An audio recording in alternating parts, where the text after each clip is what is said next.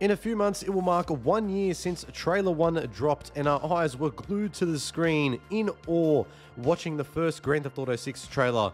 What are we going to see this time around, though, later this year, most likely when trailer 2 is officially unveiled? That's what we're going to be getting into in today's video. But before we hop straight into it today, if you guys are new to the channel, welcome on in please consider subscribing to Project Vice, like, and of course, turn on those post notifications so you never miss another GTA 6 upload. I'm trying to get to 10,000 subscribers, so any of your help would be greatly appreciated. But other than that, let's hop straight into the video. So if we cast our minds back to previous Rockstar Games titles and what they have done with their second trailers, looking back at Grand Theft Auto 5's second trailer, we actually did see this time around not only just Michael, we also saw our other two main protagonists, that being Trevor and Franklin. And this was Rockstar Games showing to us that not only we're going to be playing as one protagonist like we did in any other previous Grand Theft Auto title, but for the first time ever within the GTA franchise that we're going to be playing as three playable protagonists. Now, not only did we see our three main protagonists, but we actually saw some side characters that were featured within the trailer. Now, we didn't really know at the time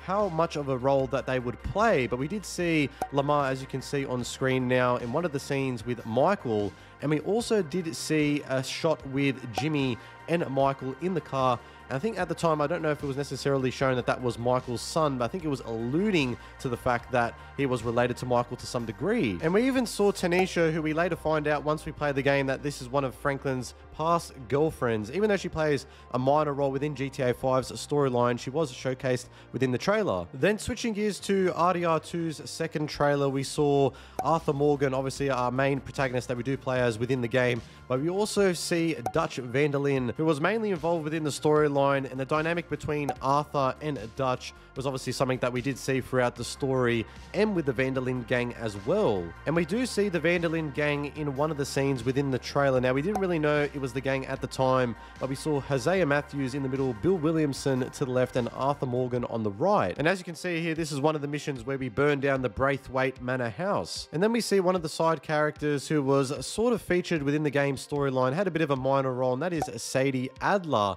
So we see her featured within this specific shot within the trailer. She has a bit of dialogue as well, which is particularly interesting. And I do remember a lot of people within the community at the time thought that we are going to be playing as Sadie Adler as our second main protagonist. Obviously, that didn't end up being the case, but a lot of people did think that at the time. Now, before we head into the next part of the video, just let me tell you about today's video sponsor, Private Internet Access. A big thank you, big ups to them for sponsoring the video once again today. You are aware internet privacy is super important. A lot of games, though, on the market use a P2P model, otherwise known as a peer-to-peer -peer model, where you're essentially not actually playing on a server, but you're connecting to someone else's console and they're actually connecting to yours. An example of this is GTA Online. An issue with this is that it makes it super easy for someone to actually access your IP address, which is unsafe and not secure at all. However, by using private internet access, it will actually help you overcome these issues as it will provide a barrier between yourself and the other person's console.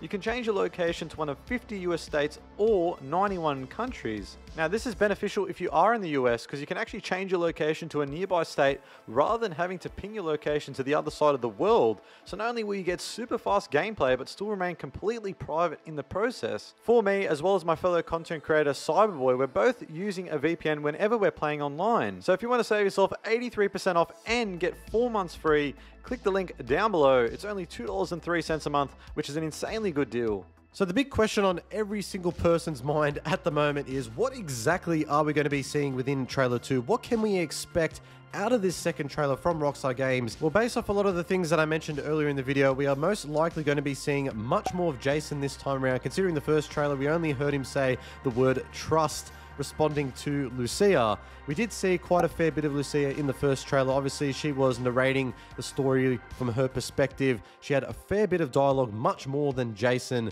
We also did see Vice City, the surrounding areas as well, and social media and how that's going to play a role within Grand Theft Auto 6 and the storyline itself. I guess that's a pretty easy prediction to make that we are going to be seeing more of Jason, but I think another thing to consider as well, which I mentioned earlier in the video also, is the fact that we are likely going to be seeing side characters having a bit of a feature within the second trailer, similar to GTA 5's second trailer with Lamar, Tanisha, Jimmy, and RDR2's second trailer with Sadie Adler and to some degree with that one shot with part of the Van der Linde gang. If you're familiar with the September 22 leaked footage and files by now, you would know that there was some side characters that were featured, and if their names are still kept the same, as we all know, the game is currently still in development, so anything can get changed up until the final version when it is released later next year. And that is Wyman, who does have seem to have a close relationship to Jason. Also, Dre, who we do get introduced to within the strip club when Lucia and Jason are walking in there. We also see messages from Shanice Booby as well, and potentially the third rumored protagonist, which is just a rumor. It's not necessarily any confirmation at the moment, but Kai, who was one of the characters featured in the leaked footage, who a lot of people are thinking was already within the first trailer. Obviously, we don't know for sure, but he is someone that a lot of people are thinking is going to have a bit more of a significant role in comparison to other side characters. Nevertheless, though, I'll give you my prediction. I'd say we are most likely going to be seeing not only just more of Jason, more of the dynamic between Lucia and Jason. I don't think we're going to be seeing too much of social media because we saw quite a fair bit of that within the first trailer.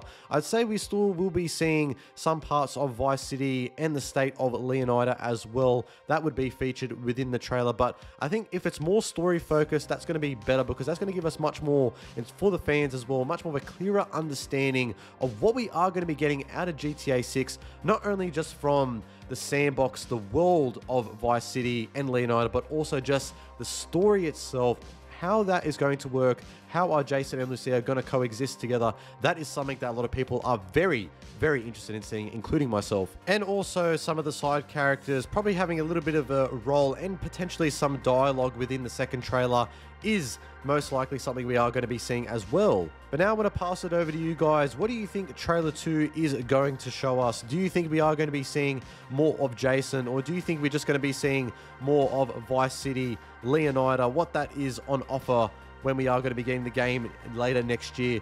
Also, do you think we are going to be seeing much more side characters having a bit of a role within the second trailer? And not only this, what do you personally want to see within this second trailer from Rockstar? I'll be very, very curious to read your comments and hear from you guys down there. Nonetheless, though, it is exciting times ahead. I know it's been painstakingly frustrating waiting from Rockstar Games, waiting for more GTA 6 news, but I'd say we are likely going to be seeing updated GTA 6 info and the hotly anticipated trailer 2, of course, as well. But that, guys, make sure to subscribe subscribe to Project Vice, like, and of course, turn on those post notifications so you never miss an upcoming GTA 6 upload. Make sure to stay safe out there. Have a great day, and I am out.